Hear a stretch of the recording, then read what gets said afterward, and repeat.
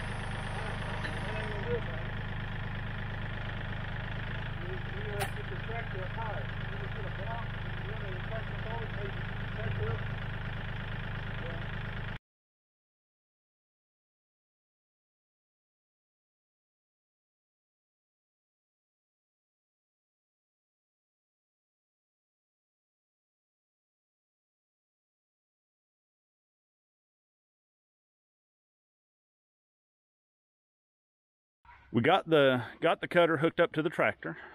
As you could see, we had had some adjustments. It comes with a just with the trailer jack right here, but because the tractor the drawbar is so low, we we didn't have enough adjustment in the um, with the jack to lower it down enough. So what we actually had to do, we actually had to go to the shop and get some two by eights to be able to drive the tractor on. So that was fun. The it's got a safety chain here that ties the bush hog to the to the tractor just like a regular trailer. I've added these tie down D-rings onto my drawbar mount, so it actually makes a really nice place to mount that safety chain there. So that was handy.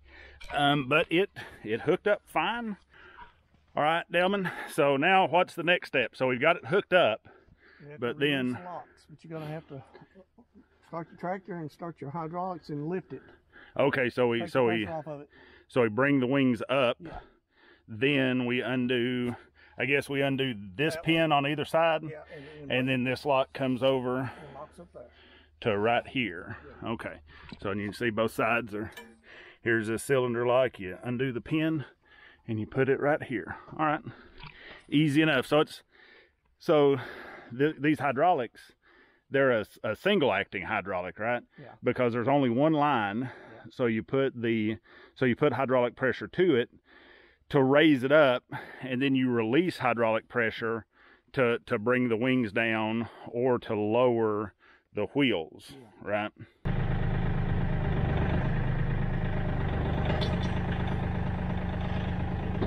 Okay, that's good enough.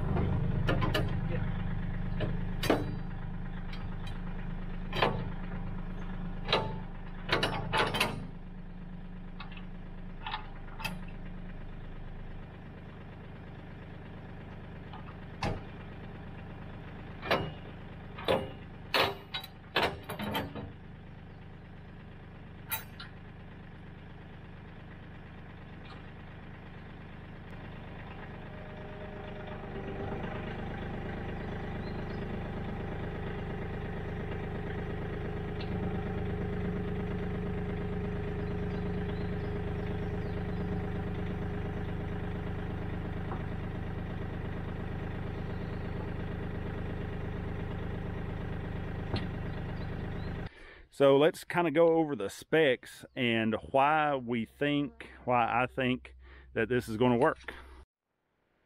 This cutter is a Titan model 1912. So that means that it's a 12 foot flex wing or bat wing cutter. Titan calls it a flex wing. The, you know, of course, the normal parlance is is a bat wing because of how it folds up. My father-in-law, it, it belongs to my father-in-law, and he normally pulls it with this tractor, a Kioti RX 7320. Obviously, my CK4010 is a little bit different tractor than that RX 7320. But on to why I think that this will actually work. So this Titan 1912, it is rated by Titan to be a 35 horsepower minimum PTO implement. The Kioti CK4010, so mine is a hydrostat, it has 33.5 horsepower at the PTO. So obviously it doesn't quite meet the spec, but I think we've all seen the video from Mike Schramke of Larry Stovesund where he's pulling one of these cutters with a 3510 that's a gear transmission. So I think that the 3510 is rated for something like 31 horsepower at the PTO. So I've got a couple more horsepower. Um, his his tractor did fine. We're in a little bit different environment though. We've got a full stand of hay that we're cutting. So it's going to be just a, you know, it's going to be a, a much tougher scenario as well as we've got some hills to pull.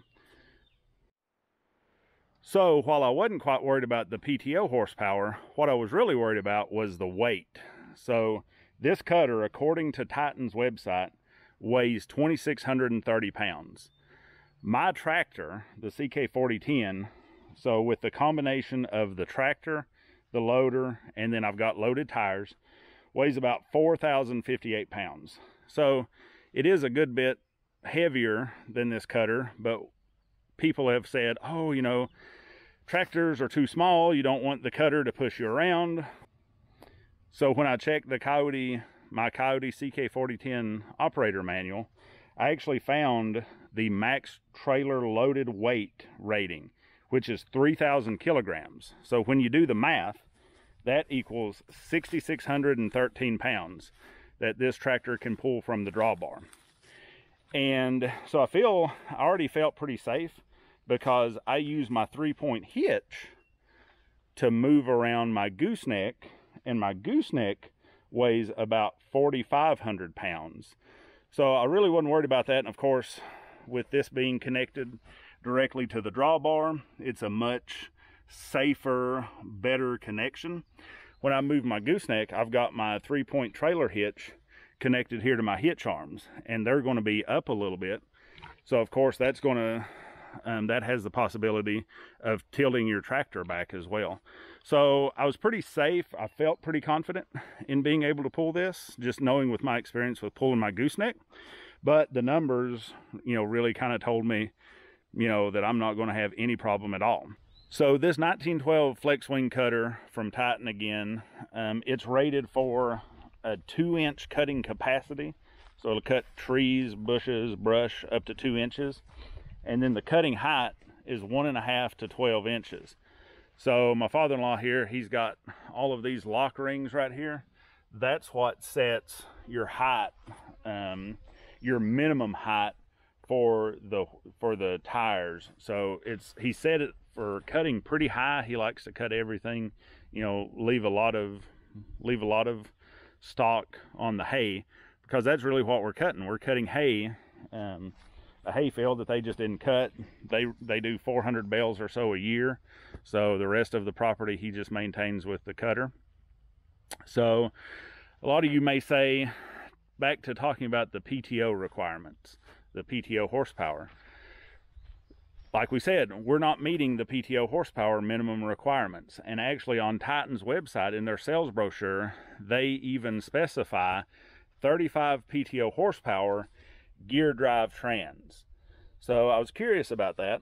So I called Titan Tech Support and asked them, you know, hey, is is using a hydrostat transmission going to going to tear the tractor up or whatever? And they said, no, we just put it there so that people know that the HST robs a little bit more horsepower that they can't just run like a 35 horsepower tractor. So that makes sense. So again, I've kind of got the blessing from Titan, essentially. I mean, not really, but you know, just talking with Titan Tech Support that this tractor should be able to pull it. So let's see if it will. All right, so the moment of truth.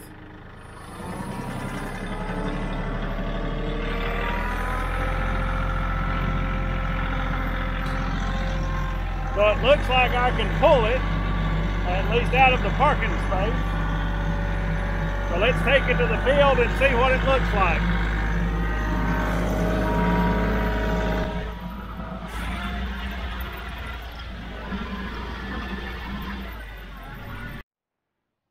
So we were able to pull it actually to the start of the field. This is the field we're going to mow. It's maybe, I don't know, a couple acres or so down to the, basically it's just, you know, exactly what you see. It's just a rectangle down this way. So it's not going to be too bad. We were going to try to mow another field, which is down the hill here, but we decided to to let um, you know caution be the better part of valor right now and mow the actual flat part.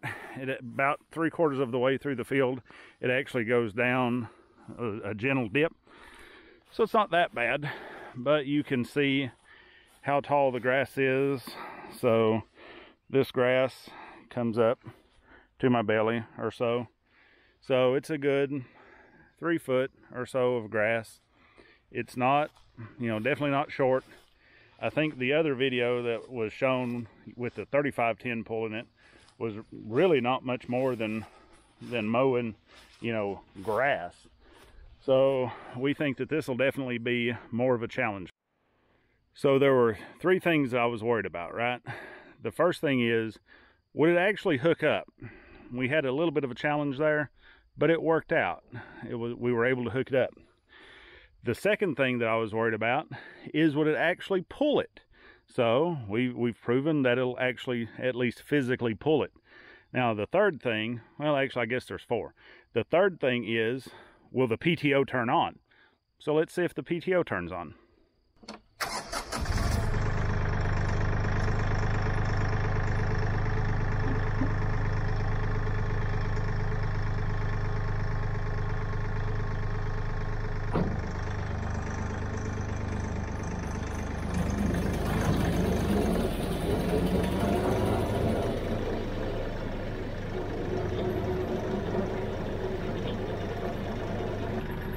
Okay, so we proved that the PTO will actually turn on.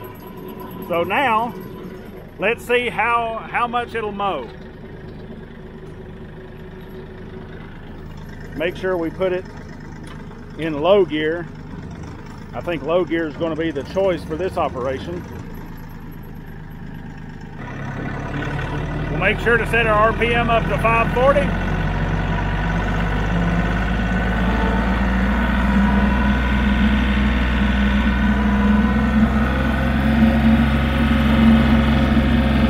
You can see it's fluctuating because it's not used to this load on it.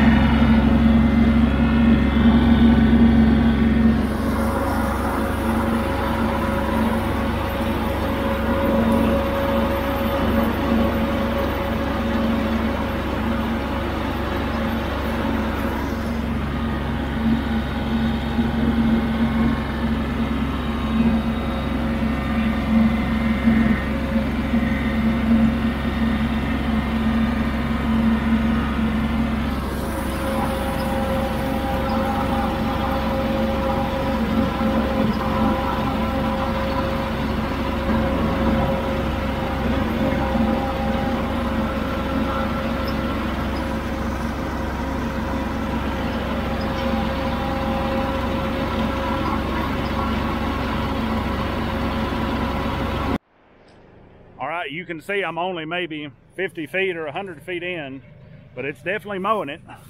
I mean, we've got, you know, it's probably not doing as good a job as what, what a bigger tractor would do. And you can see just exactly how thick it is over here. I mean, look at all that. But I think we've got a proof of concept.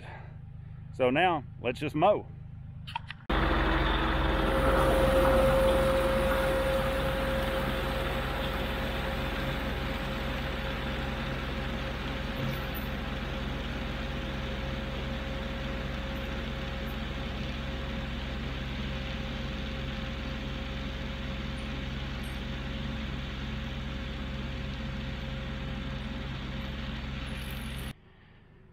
So the first thing I've noticed is it's kind of odd. You can see where the three decks are.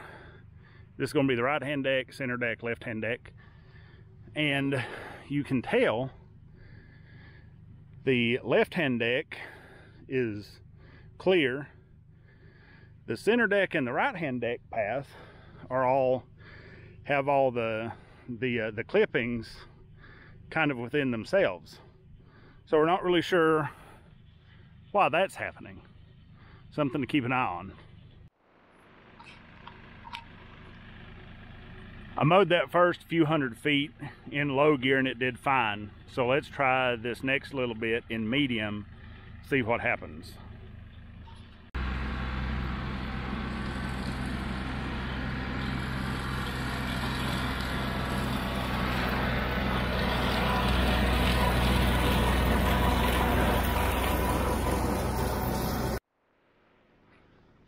That was another hundred feet or so in medium.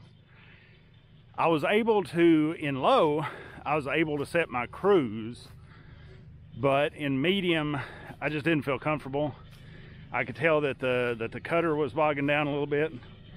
You can see there's a little bit of chunks, chunkiness here in this region with all the with all the cuttings.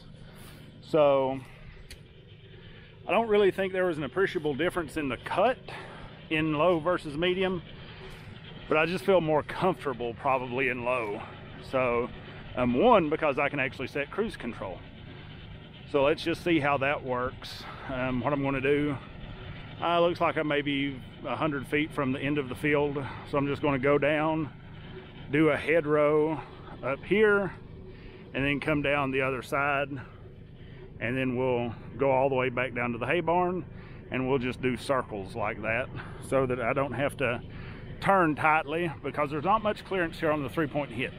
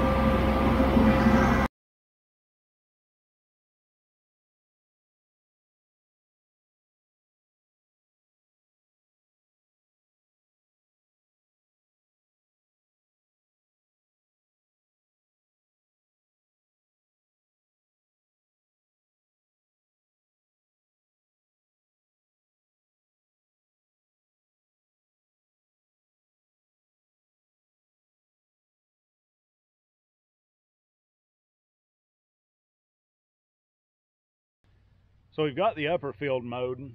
I didn't measure it before we started, but we think it's somewhere around two acres.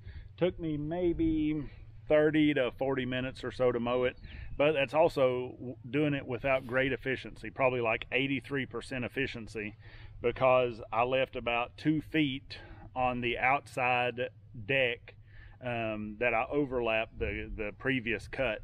So really, um, I was kind of paying attention to the gearbox on that outside deck, uh, kind of putting that the gearbox over my line. So that gives us probably about 10 feet of cutting width. So again, 10 out of 12, it's like 83% kind of efficiency. So not the most efficient cut whatsoever, but we, we got it done like say 30 to 40 minutes, 45 minutes, something like that. Now I'm gonna I'm gonna think about going down to the lower field, uh, see how big that is, see how long it takes me for that. It's to be way way more challenging because it got a good elevation change to it. So we'll see uh, we'll see how it works there. I just want to point out how clean my radiator screen is here. You can see all of the seed pods and stuff. Um, I stopped several times to clean all the seed pods off of my intake grill area. Um, but even though I was mowing in, you know, three to four foot material, I really didn't have any overheating issues or anything. And um, looks like that these that these plastic grills here really did their job, um, you know, of not sucking, not allowing those seed pods to get sucked up into that radiator screen. You can see here on the deck, I mean, I've got a good inch of seed pod material there. So it's not like I wasn't in wasn't in material that had the seed pods of things. It's just that that Kioti did a pretty good job of filtering everything out. This is the lower field. This is the main field. You can see the house over here. But you can see this this portion right here uh, is is significantly higher than the rest of the field. I would say there's a good 8 to 10 to 12 feet elevation drop from this corner to that corner over there. Of course, you're not mowing that corner. You're, you know, you're going up. But then from this corner over here, coming up is going to be, might be an incredible strain on this little 40 horsepower hydrostat. You can see kind of how it goes down here. So this block is a good bit bigger than that upper field that we mowed. And you can see the neighbors over there, they've done their round bales and they're just sitting in the field uh, waiting to be put up. But also from this corner up is going to be a pretty good elevation change. But I think maybe what I'll do is I'll probably start at this corner and then go down because this, you know, this appears to be the biggest elevation change. So I'll go down and around and around and back up because this doesn't look like as, as bad as bad of a pull.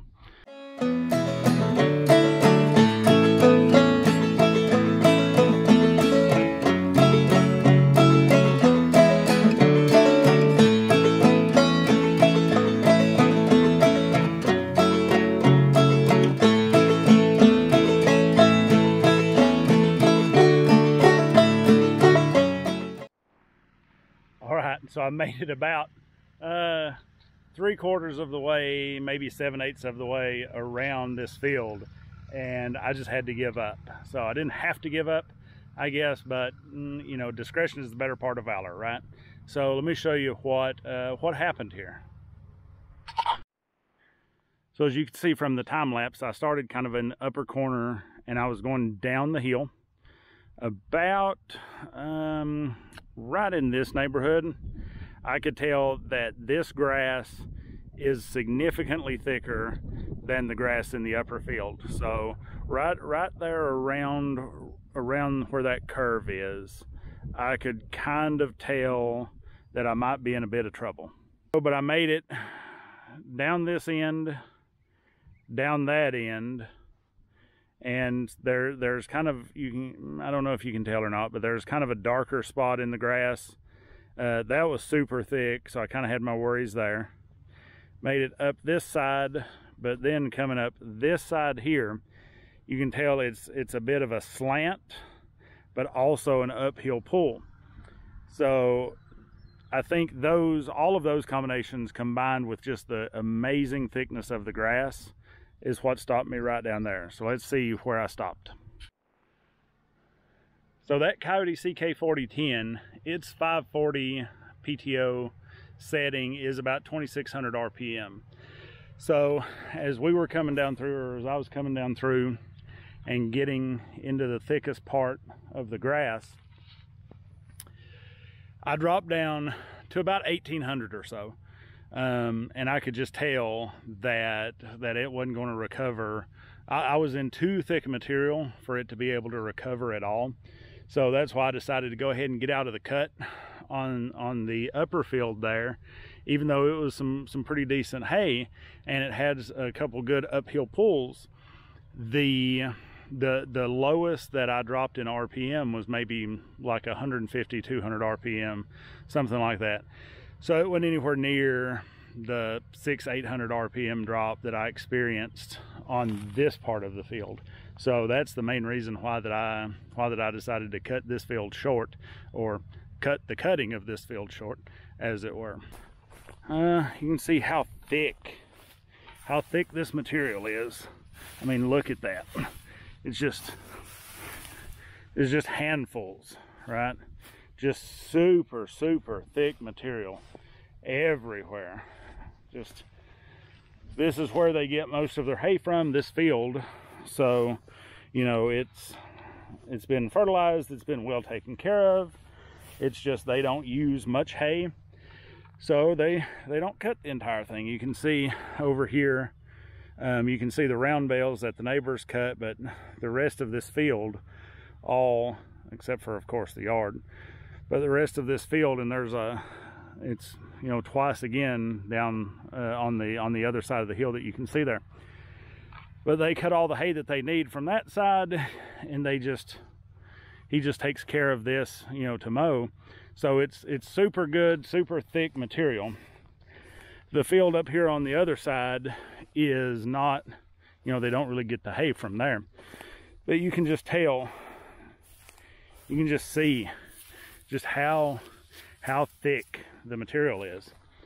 So i got you know quarter half, three quarters of the way, and then this is maybe, I don't know, a quarter of the way. So three quarter and yeah, whatever. Three quarter plus round. I just decided that it's not worth tearing up the tractor uh, for a test. So that's kind of where we are. We'll go ahead and park the Batwing today and we'll hook up the RX 7320 to it and finish the rest of this.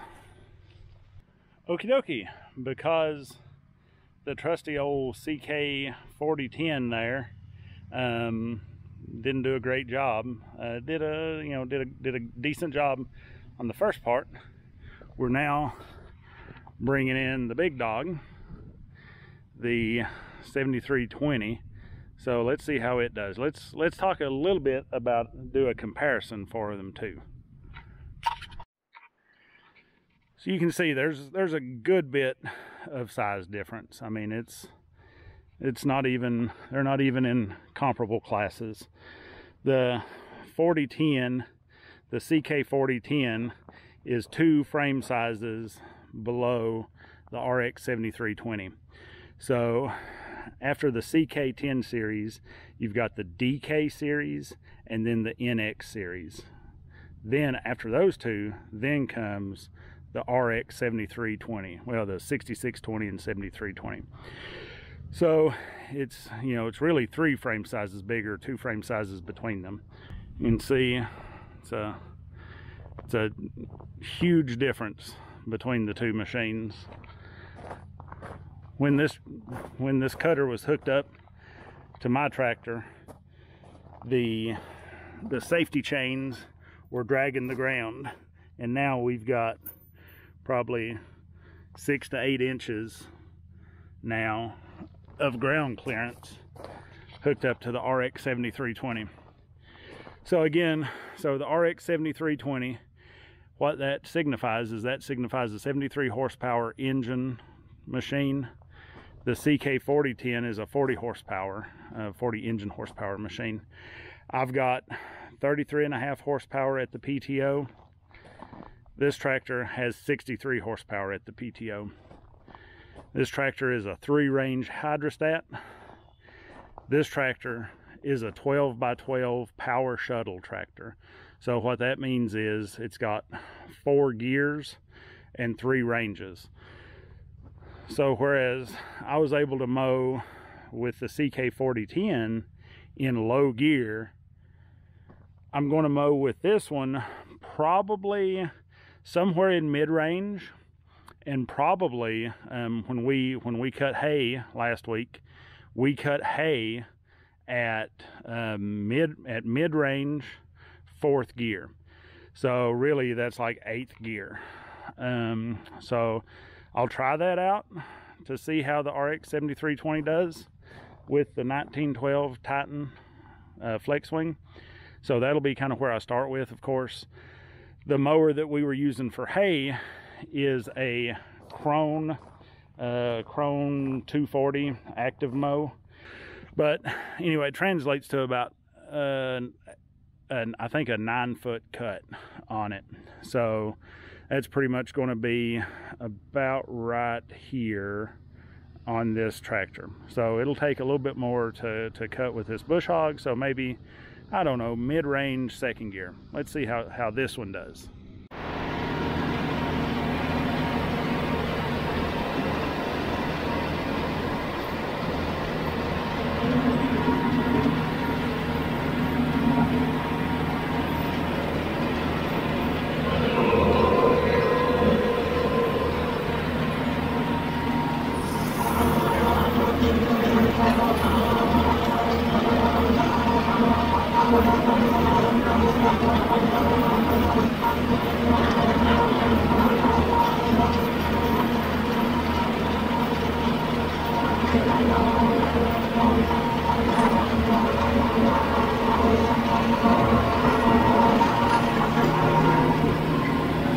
So now we're kind of to the area, all in through here was where it was bogging my tractor down in low gear.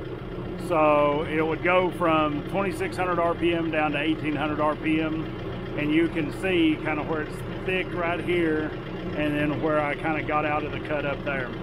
So let's go ahead and see what this RX 7320 does. We'll watch the RPMs while we go through this, this thick section. And again, we're in medium range and we're in second gear.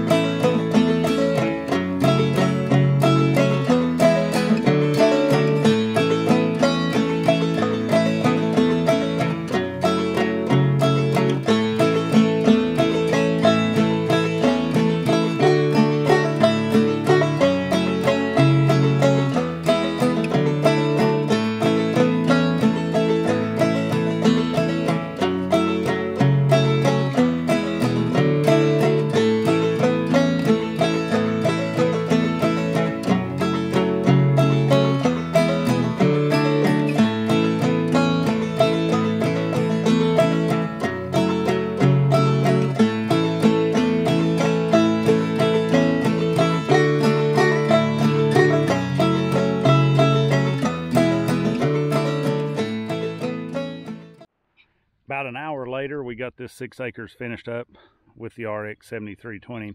Did a great job, absolutely great job. Now let's talk about what we learned.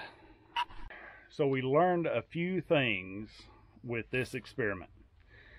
The first thing that I learned is I need a canopy on my CK4010. It's a great device. You'd think living in Florida for the last 13 years, uh, the last four years that I've owned the tractor, that I would have realized that a canopy is a good invention. I mean, most of the time that I did work with my tractor, it was in the woods, cleaning up logs and fallen trees and stuff like that. So I always had the canopy over me with the with the trees. So, but now out here doing field work, you need a canopy. Uh, even better, you need a cab. So that's the that's the first thing that we learned is spring for the canopy or spring for the cab. You won't regret that. The second thing that I learned is there is a correct tool for every job.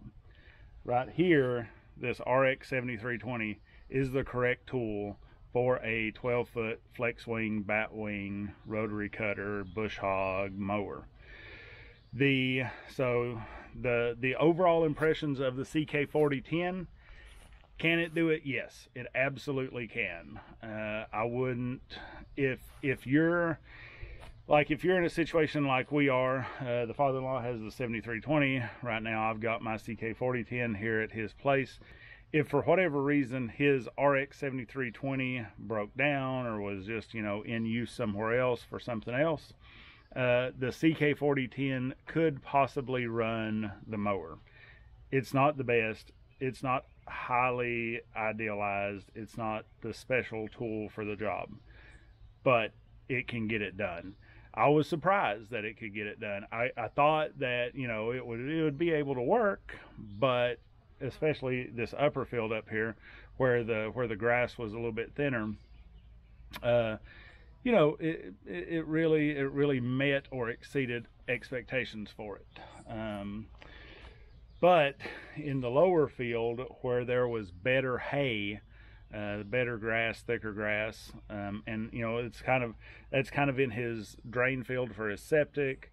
Uh, it's in the drain field for all the water runoff from his woods. So, you know, it, it's just it's just a much better growing condition for the hay it, it's not the right tool for that job by no means no stretch of the imagination so it can do it um, if somebody's trying to sell you this combination of oh this 1912 flex wing can work with a ck no no not at all. Uh, maybe if you use it one time a year to to cut small things maybe um, but not not as a as a regular occurrence. The other thing is the um, this 1912 flex wing has a cutting capacity of two inches. There's no way, even slight brush, um, you know, any kind of brush, uh, it would have it would have killed the CK for sure. I'm I have no doubt about that.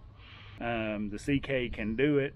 Um, I don't think I broke my tractor at all. I never saw the you know saw it getting close to overheating or anything.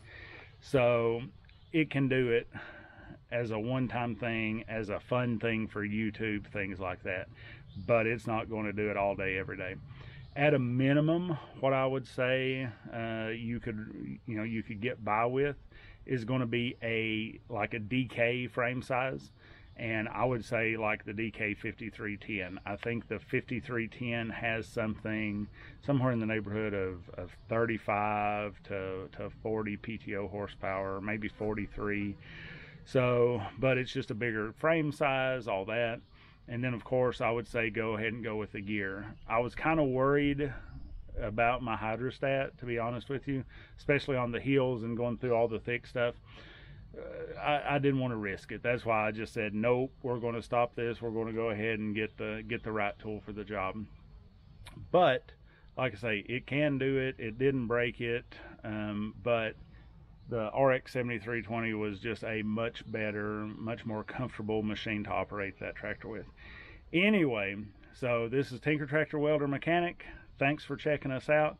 This kind of uh, content is what you're going to expect from us. So tractor work, mechanic work, fixing broke things, breaking fixed things, um, doing some welding, some fabricating, kind of kind of fixing whatever we need to fix anytime we need to fix. So go ahead and hit that subscribe button, and we'll see you next time. Have a great one.